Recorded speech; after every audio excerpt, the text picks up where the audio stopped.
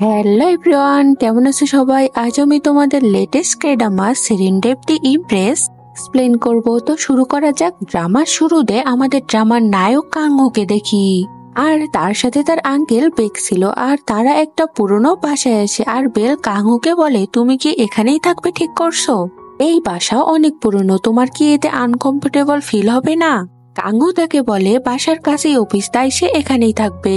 কাঙ্গুকে তার আঙ্কেল বলে, তুমি কোরিয়া এসেছ শুধু দশ দিনের জন্য। একটা কাজের বিষয়ে তোমার কি মনে হয় না? তোমার আরও বেশি থাকা উচিত এখানে? কাঙ্গু আঙ্কেলকে বলে, তার জন্য দশ দিনই এনাফ আঙ্কেল তাকে বলে কাঙ্গু যেহেতু এতদিন পর এসেছে, সে যেন তার ফ্রেন্ডদের সাথে দেখা করে। কাঙ্গু আঙ্কেলকে জানায়, তার কোনো ফ্রেন্ড নেই কোরিয়ায়। আঙ্কেল বলে, ঠিক আছে, তাহলে আজ আমরা একসাথে ডিনার করব। কিন্তু কাঙ্গু বলে আজ সে পারবে না, কারণ আজ তার অন্য কাজ আছে। আঙ্কেল তাকে বলে, কি ব্যাপার, কোনো মেয়ের সাথে দেখা করবে নাকি? কাঙ্গু কিছু বলে না। এরপর সে একটা রেস্টুরেন্টে আসে, আর তখনই আমাদের ড্রামার নায়িকা হংজু রেস্টুরেন্টে আসে। আর কাঙ্গুর কাছে এসে বলে, তুমি এখানে ব্লাইন্ড ডেটের জন্য এসেছ, তাই না? আমি হংজু হাইজির ফ্রেন্ড। কাঙ্গু তো হংজুকে দেখে অনেক শখ হয়, কারণ তারা একই স্কুলে পড়েছিল। কাঙ্গু বলে হংজু আর তখনই একটা মেয়ে এসে কাঙ্গুকে বলে, আমি মিসো জোসেফের সিস্টার তুমি কাঙ্গু না? আর হংজু এটা বুঝে যায়, সে ভুল করে কাঙুর কাছে এসেছে। সে তো অন্য কারোর জন্য ব্যান্ডেটে এসেছে। এরপর হংজু আসল লোকের কাছে গিয়ে বসে। এদিকে মিসও কাঙুর সাথে কথা বলতে থাকে, কিন্তু কাঙুর তো পুরো ফোকাস হংজুর কাছে থাকে। আর নিজেই নিজেকে বলে হংজু একদম চেঞ্জ হয়নি। মিশো তাকে বলে কাঙ্গু কি এই মেয়েকে চিনে? কাঙ্গু বলে হ্যাঁ হংজু আর আমি একই স্কুলে পড়ছিলাম। মিশো কাঙ্গুকে বলে কাঙ্গু মিশুকে চিনতে পেরেছে, কিন্তু হংজু পারেনি। তার মানে কাঙ্গু অনেক চেঞ্জ হয়েছে। আর কাঙ্গু দেখে হংজু আর সেই লোক রেস্টুরেন্ট থেকে বের হয়ে যাচ্ছে। এটা থেকে কাঙ্গুও তো পিছু পিছু যায়, কিন্তু হংজুকে খুঁজে পায় না বাইরে এসে। আর তার পিছু পিছু মিশো আসে, আর মিশো কাঙ্গুর সাথে যেতে চায়। কিন্তু কাঙ্গু বলে সে অনেকদিন পর কোরিয়া এসেছে, তাই রাস্তাঘাট কিছু চিনে না। আর মিশোকে একাই চলে যেতে বলে, এটা বলে সে মিশোকে ইগনোর করে চলে যায়। এরপর রাতে কাহু গাড়ি চালাচ্ছিল, আর হঞ্জুকে মিস করছিল, আর ভাবছিল যদি এখন হংজুর সাথে দেখা হতো আর হঠাৎ করে সে হংজুকে দেখে বাস স্টপে বসে আছে। সে তো হংজুকে এক নজরে অবাক হয়ে দেখতে থাকে। আর হংজু সে সময় চুল বাঁধছিল আর কাঙর মনে পড়ে হংজু স্কুলে ঠিক এভাবেই চুল বাঁধত। এরপর বাস স্টপে পাঁচ আসে আর কাঙু হংজুকে হংজু বলে ডাকে, কিন্তু হংজু তাকে খেয়াল করে না। এরপর কাঙু হংজু চলে গেছে কিনা দেখার জন্য রাস্তার এপারে আসে আর সে দেখে হংজু এখনও যায়নি। সে রাস্তার দোকানে দাঁড়িয়ে খাবার খাচ্ছে আর সেও দোকানে এসে দোকানদারকে বলে, আমাকে তাই দাও যেটা এই মেয়ে খাচ্ছে। দোকানদার হংজুর খাওয়া খাবারগুলোই কাঙুকে দেয়। কাঙু হংজুকে বলে, আমাকে কিছু টিস্যু পেপার দাও। হংজু তাকে টিস্যু পেপার দেয়। কাঙু হংজুকে বলে হংজু কি তাকে চিনতে পারেনি? হংজু তাকে বলে হ্যাঁ পেরেছি। তুমি কাঙু কাঙু বলে, তার মানে তুমি আমাকে রেস্টুরেন্টেই চিনতে পেরেছ, কিন্তু তুমি এমন বিহেভ করলে যে চিনো না আমাকে। হংজু বলে, তা নয়, তুমি হঠাৎ করেই দশ বছর থেকে গায়েব হয়ে গেলে কাউকে না বলে। হঠাৎ করে দেখলাম, তাই এমন করছি। তোমার কি অন্য কোনো ফ্রেন্ডের সাথে ইতিমধ্যে দেখা হয়েছে? কাঙ্গু বলে, না, তুমি ছাড়া কারোর সাথে এখনও দেখা হয়নি। হংজু বলে, ও আচ্ছা অনেক ফ্রেন্ড তোমার ব্যাপারে এখনও বলে। তুমি আমাকে তোমার নম্বর দিতে পারো, আমি তাদের দিব। তোমাকে দেখে সবাই খুশি হবে, বিশেষ করে তো হাইজি। কাঙ্গু বলে, তুমি কি আমাকে দেখে খুশি হওনি? এটা শুনে হংজু চমকে ওঠে। আর তার মুখে সব ড্রিঙ্ক মুখ থেকে বের হয়ে সোজা কাঙ্গুর উপরে পড়ে। আর বলে, আমাকে মাফ করে দাও, তোমার কথা শুনে হঠাৎ করেই চমকে উঠলাম। আর আমার বাসও এসেছে, আমাকে যেতে হবে। আর সে দোকানদারকে বলে, আমার ফেরত পাওয়া টাকা কাঙ্গুকে দিয়ে দিবে। দোকানদার কাঙ্গুকে একটা কয়েন দেয়, আর এদিকে কাঙ্গু দেখে রাস্তায় গাড়ি পার্কিং এর জন্য পুলিশ তার গাড়ি নিয়ে গেছে। এরপর সে বাসা আসে। আর ভাবে, হংজুর কি দশ বছর আগে যা যা হয়েছিল সব মনে আছে? এরপর দশ বছর আগের সিন দেখানো হয়। কাঙ্গু স্কুলে আসছিল বাসে। আর তার পায়ে ইঞ্জুরিও ছিল। বাস স্কুলের সামনে আসলে সে নেমে যেতে ধরে, কিন্তু বাস ড্রাইভার বলে, তোমার পিছনে যে মেয়ে আছে, তাকেও ডেকে দাও। সে ওই স্টুডেন্ট আর এই স্টুডেন্ট আর কেউ না, হংজু ছিল।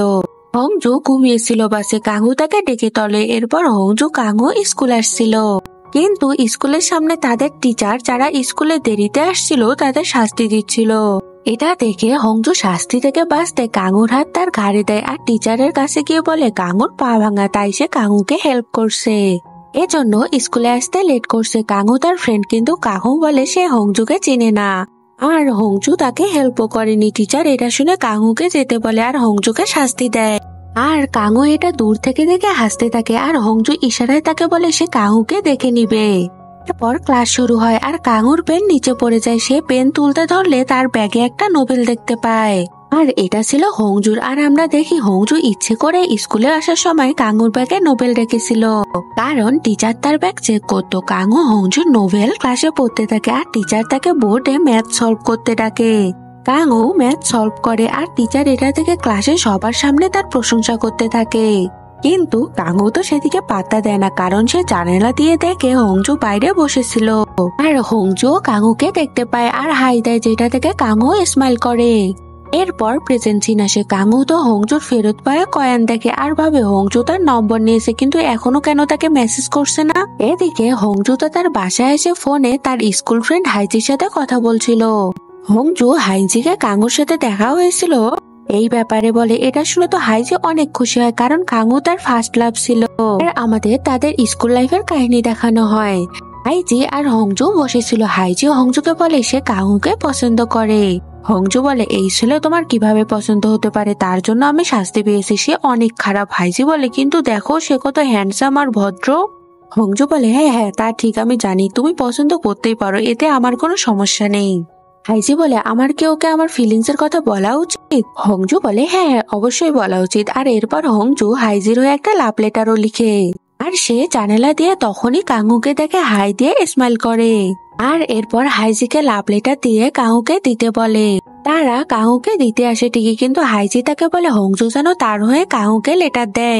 হংজু তো এটা করতে রাজি হয় না প্রথমে, কিন্তু হাইজি জুনহো নামের একজনের কথা বলে। সেই বলে, হংজু যদি তার হয়ে লেটার দেয় তাহলে সে জুনোর অ্যাড্রেস হংজুকে দিবে আর এটা শুনে হংজু রাজি হয়ে যায়। আর কাঙুকে লেটার দেয় আর বলে, আমার ফ্রেন্ড হাইজি তোমাকে পছন্দ করে আর সকালে আমি তোমার ব্যাগে একটা নোভেল রেখেছি। তুমি নোভেলের ভিতরে লেখে এই লেটারে রিপ্লাই দিও আর তখন সেখানে টিচার আসে হংজু চলে যায়। এরপর আমরা বর্তমান সিনে দেখি কাঙুর কথা শোনার পর হাইজি হংজুর ব্লাইন্ড ডেটের কথা জিজ্ঞেস করে। কিন্তু হংজু বলে, ওই লোক একদম আমার টাইপের না, তাই এসব কথা বাদ দাও আর ঘুমিয়ে পড়ো। এরপর সে ফোন কেটে দেয়। পরদিন দেখি কাঙ্গু তার অফিসে মিটিং এ বসেছিল।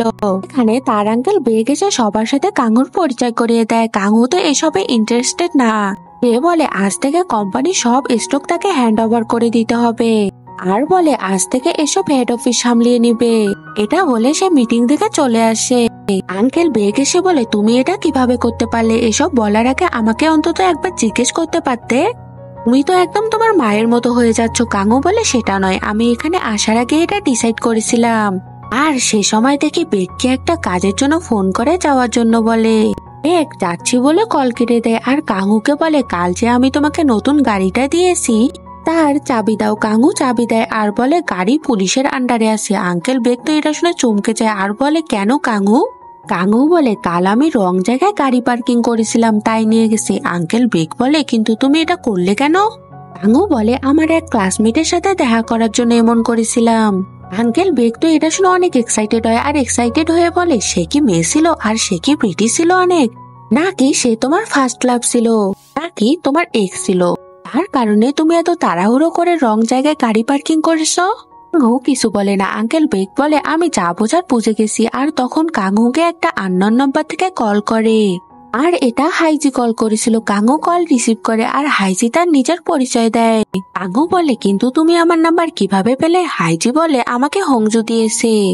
আচ্ছা একটা কথা বলবে, তুমি কি এখন ম্যারিড কাঙ্গু বলে, না, আমি এখনও সিঙ্গেল আর এটা শুনে তো হাইজি অনেক এক্সাইটেড হয় আর পাশেই বসে হংজু এসব শুনছিল। আর হাই যে কাঙ্গুকে কলে রেখে হংজুর সাথে কথা বলে। কাঙ্গু এসব শুনতে পায় আর বলে, হংজু কি তোমার সাথে আছে? হাইজি বলে হ্যাঁ আর আমরা তোমাকে একটা ওয়েলকাম পার্টি ট্রিট করতে চাই। আমাদের ফ্রেন্ড সংফিলও তোমাকে অনেক মিস করে। আমি তোমাকে একটা অ্যাড্রেস টেক্সট করব। আমি তোমাকে অ্যাড্রেস দিব কোথায় আসতে হবে? কাঙ্গু বলে, ঠিক আছে, এরপর রাতে দেখি একটা রেস্টুরেন্টে একটা ছেলেকে। আর এটা ছিল সংপিল যে হংজু আর হাইজি আর কাঙ্গুর ফ্রেন্ড। আর এরপর সেখানে হাইজিকে রেডি হয়ে আসতে দেখি। আর এরপর সেখানে কাঙু আসে, আর কাঙুকে দেখে তো সংপিল জড়িয়ে ধরে, আর বলে, আমি তোমাকে অনেক মিস করেছি। তুমি তো আমাকে না বলেই চলে গিয়েছিলে। এরপর হাইজি কাঙুকে, হ্যালো, বলে, কাঙু তো তাকে প্রথমে চিনতে পারে না। সংপিল বলে, এটা হাইজি কাঙু বলে, ও হ্যাঁ চিনতে পেরেছি, কিন্তু হংজু কোথায়? আর এদিকে হংজুকে দেখে সে তাদের পার্টিতে আসছিল, কিন্তু তখনই তার কোম্পানি থেকে মেসেজ করে এক জায়গায় যেতে বলে। এদিকে রেস্টুরেন্টে দেখি হাইজি তো কাঙুকে দেখে অনেক এক্সাইটেড হয় আর এক্সাইটেডে অনেক ড্রিঙ্ক করে। আর নিজের মধ্যে থাকে না, মাতাল হয়ে যায়। কাঙু সপিলকে জিজ্ঞেস করে, তুমি কীভাবে কুক হলে? সংপিল তাকে বলে, সে যখন মিলিটারিতে ছিল, সে নিজে রান্না করতো। তখন থেকে তার রেস্টুরেন্ট দেওয়ার ইচ্ছে হয়, আর এই রেস্টুরেন্ট ওপেন করে সে। এই সময় হাইজিও বলে ওঠে, আমি এখন স্কুল টিচার আর আমি জানি তুমি ফিনান্সিয়াল প্ল্যানার, তাই না? সবাই সবার লাইফে সাকসেস হয়েছে, এটা দেখে তো আমি অনেক খুশি, কিন্তু হংজু কোথায়? ও এখনও আসছে না কেন? আর এদিকে দেখে হংজু একটা বারে কাজের জন্য আসে, আর তখন সে সেখানে জুনোকে দেখে। আর জুনো হলো হংজুর ফার্স্ট লাভ জুন হো হংজুকে দেখে বলে, অনেকদিন পর আমাদের দেখা হলো, তাই না? কেমন আছো তুমি? এদিকে সংফিল কাহুকে বলে, জানি না হঞ্জু এখনও আসছে না কেন? কাঙু বলে, সে হয়তো কাজে এখনও বিজি আছে, কাজ তো করতে হবে, তাই না? এখানে আমাদের কিছু করার নেই। আর একটু পরেই সেখানে হঞ্জু আসে, আর হঞ্জু অনেক মাতাল ছিল, এটা দেখে তারা অনেক অবাক হয়। যে হঞ্জু কেন ড্রিঙ্ক করেছে? হঞ্জু হাইজির সাথে মাতাল হয়ে আজব আজব কথা বলতে থাকে, আর সে সেখানে মাতাল হয়ে নানা রকম হাস্যকর কাণ্ড করতে থাকে, যেটা দেখে কাঙ্গু স্মাইল করে। হঞ্জুকে বলে, তুমি কোন অ্যাড্রেসে থাকো? হঞ্জু তার অ্যাড্রেস বলে দেয়। সংপিল কাঙ্গুকে বলে, তুমি তো হঞ্জুর অ্যাড্রেসের সাইডেই থাকো। তাই তুমি হঞ্জুকে বাসা নিয়ে যাও। ও মাতাল, তাই একা যেতে পারবে না। আর আমি হাইজিকে নিয়ে যাচ্ছি। এরপর কাঙু হাইজির পিছনে ফলো করে আসছিল, কারণ হঞ্জু একাই হাঁটছিল। এরপর হংজু তার হাই স্কুলের সামনে এসে থামে। আর কাঙুকে বলে, এটা আমাদের স্কুল তাই না? তোমার মনে আছে আমি তোমাকে হেল্প করেছিলাম আর তুমি টিচারের কাছে অস্বীকার করেছিলে? কাঙু বলে, সত্যি কি সেদিন তুমি আমাকে হেল্প করছিলে? তোমার কি তাই মনে হয়?